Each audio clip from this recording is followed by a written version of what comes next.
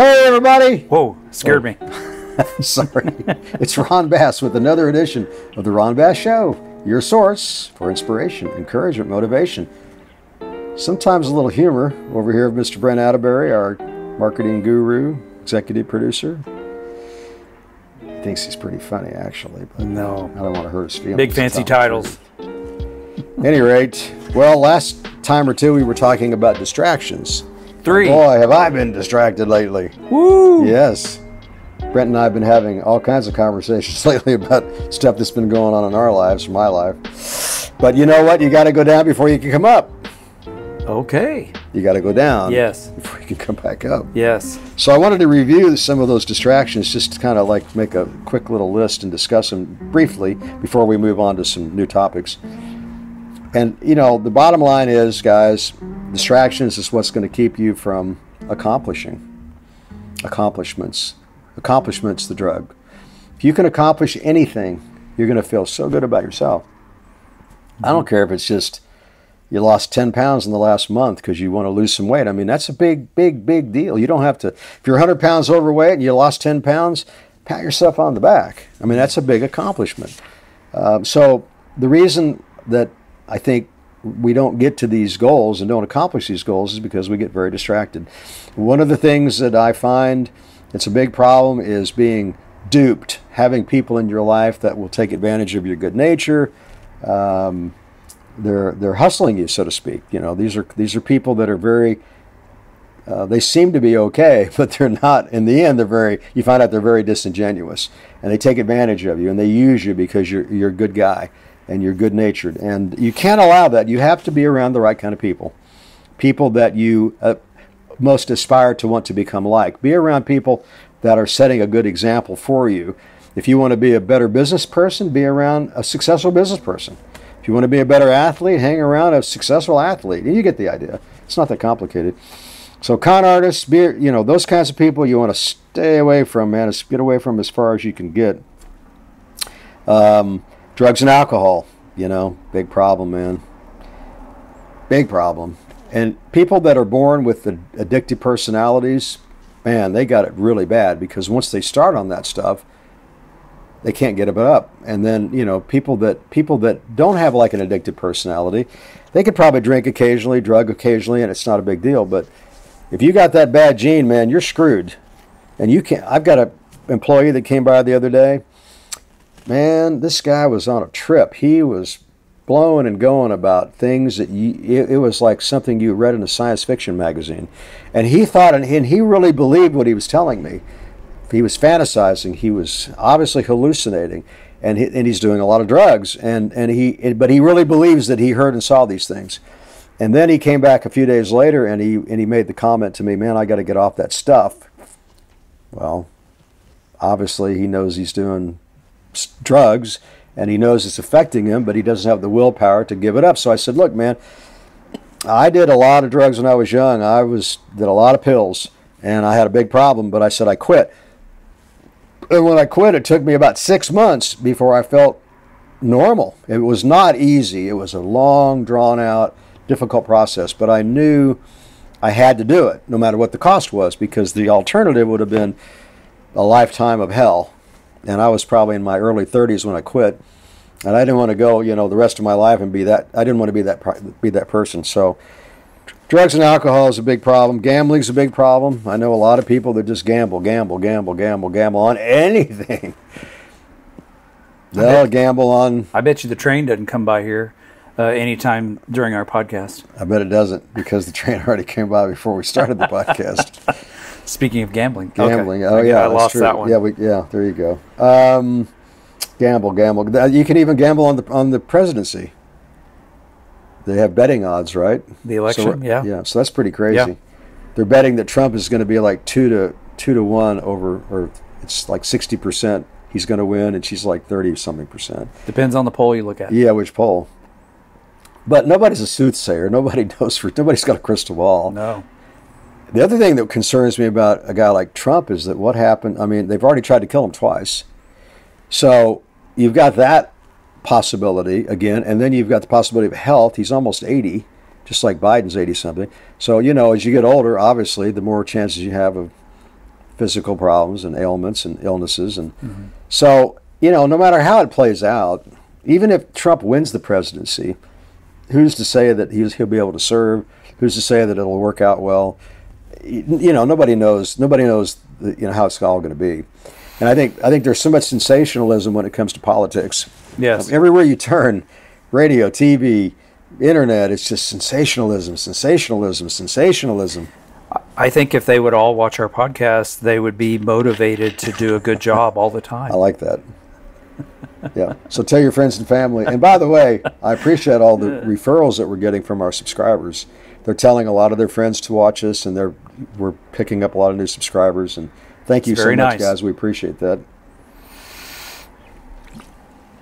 So I went to the convenience store this morning to get a uh, beef stick. I like to when I go to the gym. I like to eat eat something while I'm working out. It gives me some just, you know, just enough energy to, to, to do the workout.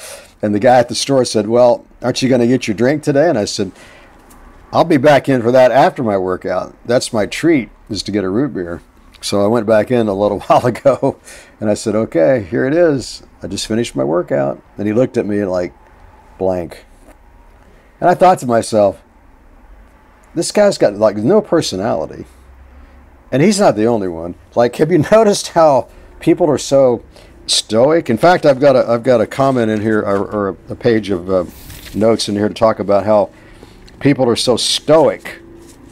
Like when you go into a store, uh, I went to a store the other day and, and, and people were just so quiet. Nobody was talking. And the guy behind the counter was like, just, blank stare.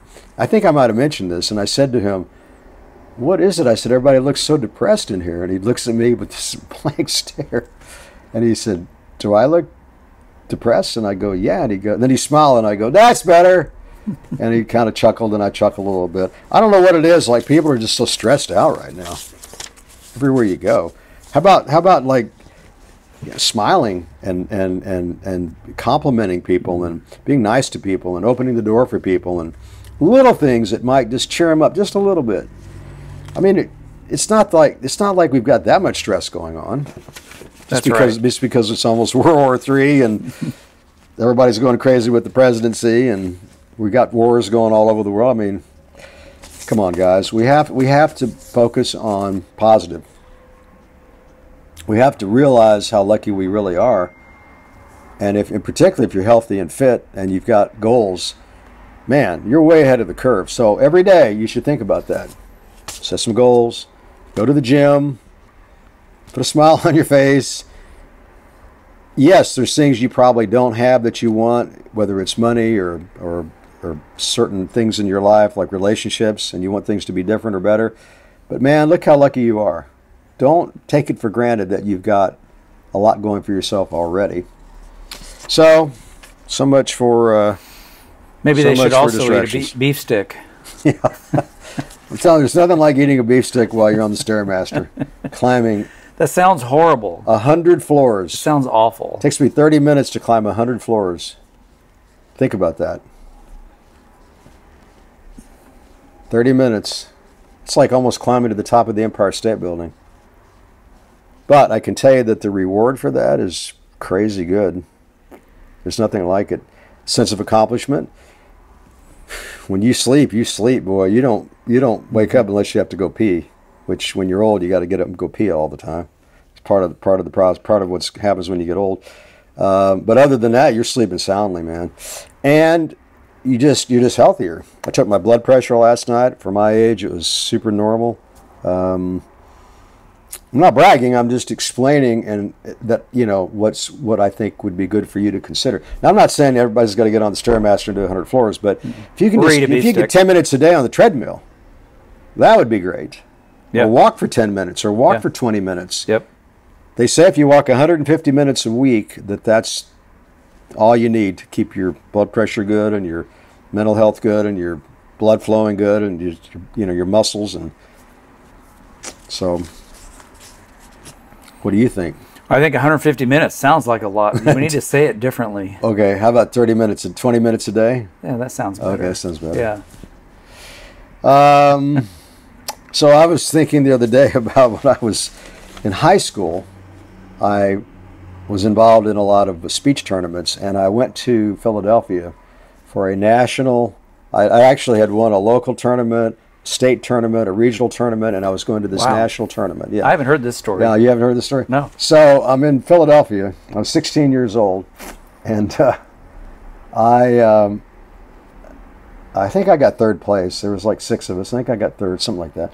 But I was I remember there were thousands of people in this audience, and I was like a nervous wreck, right? But I did it, and so and I I I, uh, I kind of got in trouble because I was hanging out with this young girl that was also a, um, a competitor, and the chaperones got mad at me, and basically I kind of had to get the heck out of Philadelphia.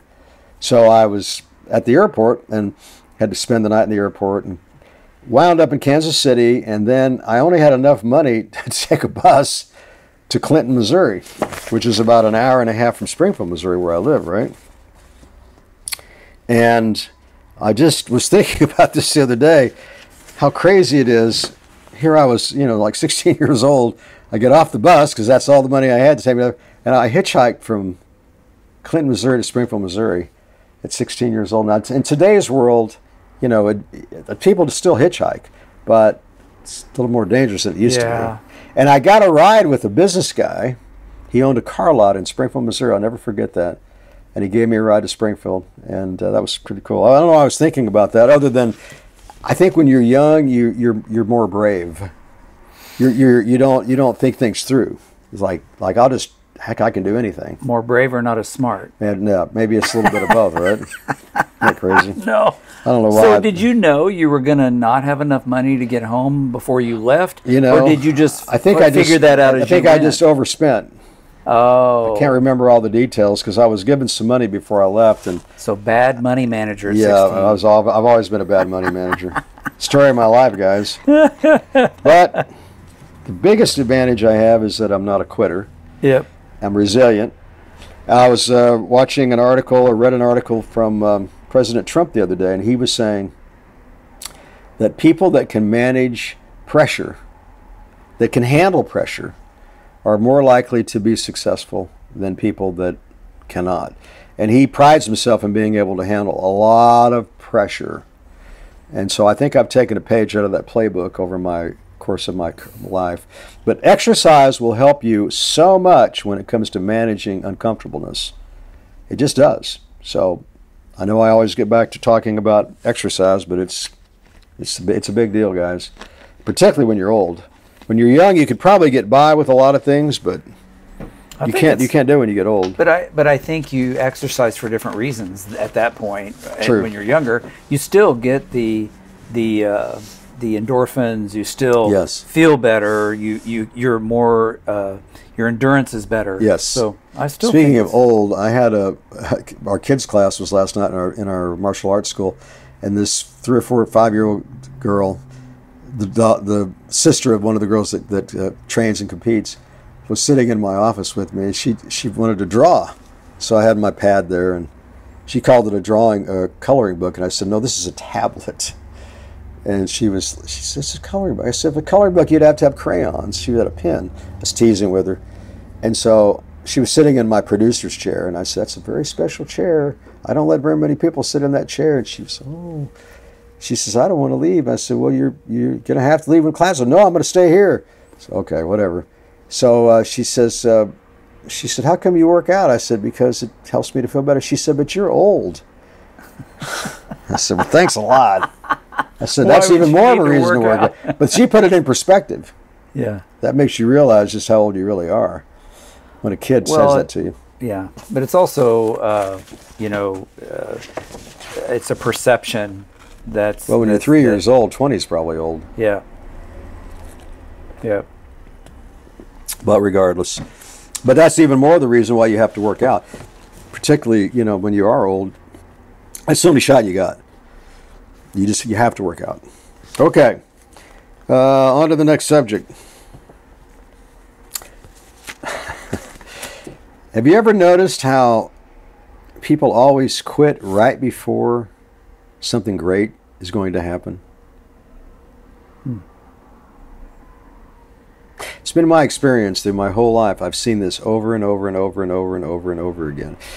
People get so frustrated and so discouraged that they give up on something. But they quit before it actually It for, before it actually happen. They didn't know itself. it was going to. They didn't know, but I but I but I've always been able to witness from the outside the circumstances. So when they stepped to the side, the next person in line was able to take advantage of that opportunity. And I've seen this happen a lot. So I say that to say this: it happened even in my company recently, where somebody got very discouraged, decided they were going to quit because they didn't feel like they were being compensated enough, and then within a matter of days, everything changed again, and then it, if that person would have stayed, they would have been compensated exactly the way they needed to be compensated, the way they felt they should be compensated. So it just goes to show you that you you you have to stay the course. Yeah. You cannot give up. Now sometimes you have to detour. There's some things Brent and I talked about earlier today where we're going to put some things on the on the side for a minute until some things uh, take take place. But that doesn't mean you give up. You just have to adjust.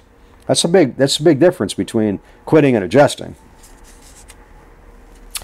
Any rate, uh, that's just something I wanted to bring up. And then uh, another topic is uh, how people mistake kindness for weakness. It's been one of my biggest faults in my life because I'm a pretty easygoing guy and I'm pretty generous. And then the wrong person gets involved with you, like we talked about earlier about con artists or people that are uh, disingenuous, come across one way but they're really another way. You got to be really careful, guys, because if you if you don't if you don't really watch out for yourself, before you know it, somebody's going to steal your heart or steal your money, and then you're going to be in trouble. And and you say people perceive that as weakness? Well, I think it's they perceive uh, kindness uh, for weakness. That's an old saying. Huh. Yeah. I don't You don't you don't I see don't it that way. like that. I, I think people take advantage of you sometimes when you're kind. Yeah. But I I think man, I think being kind is is one of the secret sauces to having a happy life. There's another old saying: people mistake uh, uh, confidence for arrogance. If you're confident, you come across like you know what's going on, and people, oh, he's arrogant. No, he's just confident. So, I think perception is reality. If they see you a certain way, then they're gonna, people are going to uh, make their own judgment, and and oftentimes I think it's they're misinformed. But you have to be open-minded when you work with people. You can't. You have to look this good outweigh the bad. Don't throw the bat the baby out with the bathwater. In other words, if the good outweighs the bad, that's how I've always felt about Brent. You know, if the good outweighs the bad, I keep him around. Yeah. Yeah, Yeah. I'm kidding. I'm kidding. I'm kidding. Trying to throw in some dry humor here. One of my coaches wants to get up and do a com- do some comedy at the uh, comedy club. Really? Yeah, he's Brave really- individual. yeah, he's he's really into that trip. And I said, well, I do a lot of dry humor, but he's all about jokes. And Yeah. I said, hey, I'll go with you. I'll be happy to be in the audience for you, and I'll take you if you want to go. They've got uh, amateur nights, I'm sure. Yes. Be the captain of your be the captain of your own ship, guys. You know, be be your own boss in your life. Take charge. Uh, even if you're making bad choices, it's your life. You'll figure it out. You'll you'll get if you get off track, you'll get back on track. If you fail, it's okay. You'll get back up, brush yourself off, and keep moving. Don't be a follower. Be a leader. Take charge of in your of your life. Be the be the captain of your own ship. Any breaking news? Yes. How about how about how about that? Well, you know it's almost Halloween. Oh, that's right. Yes, yes. And in Portland, Oregon, it's time for the Bat Beauty Contest. Oh my gosh. The uh, Bureau of Bat Land Beauty. Management has a online competition where you get to pick out the cutest bat. Come on. For real? And yes, and the one that took the first round of the most votes, the bat is named Sir Flapsalot. Oh my gosh. Sir Flaps. that's hilarious. Sir Flapsalot. That's hilarious. So uh, you can go online and vote. I think it goes on for like a week. But, Wow. uh, it's in Portland, Oregon. and That's then interesting. and then today, again, Halloween Halloween being tomorrow, today, the country celebrates its favorite vegetable with National Candy Corn Day. Candy corn. You like candy corn? I, I haven't eaten it in a long time, but Me I, neither. I I remember like when it. I used to. I like it. It's National Candy, Candy corn, corn. Day. Wow. Yeah, it's exciting. On the on the day, uh, I, I call it Halloween Eve. Halloween Eve. Yes. Well, I think we bored everybody enough, don't you? Sure. The main topic I was going to talk about today was going to be accomplishments, but I think I'll save that for next week. Oh, is that a juicy one? Yeah. It's a good one. It's one of my favorite topics. You know, I, I talk about it all the time, but I wanted to like go down uh, go down the list and kind of uh, analyze it in more depth Yeah. Yeah. um, because it's so important. It's really It- if, if you didn't it- do anything else in your life but focus on that, you'd be okay. Isn't it weird how some people uh, are offended or uncomfortable with certain words? True. I uh, I know someone that cannot despise. You know someone? Yes, one person that cannot that despises and cannot stand for anyone to say the word moist. Moist. Yeah, she just like cringes and gets uncomfortable. What would I'm that not be? sure. Why would that be the case? I don't know when she was a baby, someone said moist and they made a loud noise and it scared her forever. But Wow. she, you say moist, and I mean, she, if you say it three or four times, she leaves the room. Wow. Yeah, I'm telling you, words can create people to, uh, can cause them to react. Wow. What's the old saying? Uh, Sticks and stones may break my bones, but words will never hurt me. Yes, It's an old saying. it is. It's old. I don't know where I come up with these old sayings. Because. I'm old. That's That's, why I keep old. coming up with these old sayings. I forgot. I forgot I was old. That's another thing about working out all the time. You forget you're old. Yes, It's weird. good. That's good. That's a good thing, huh? Yeah. Got to keep the old body lubricated and moving. Man, I'll tell you what, there was some really attractive women at the gym today. Hmm. That's awesome. I mean, fit. yeah. You know, there's nothing like a fit woman, particularly an old woman, older woman.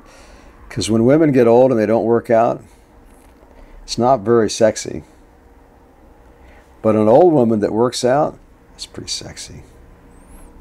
On that note, I think we about ran out of time. I guess we're about out of time. Well, guys, just remember if you don't give up, eventually, sooner or later, the stars are going to line up.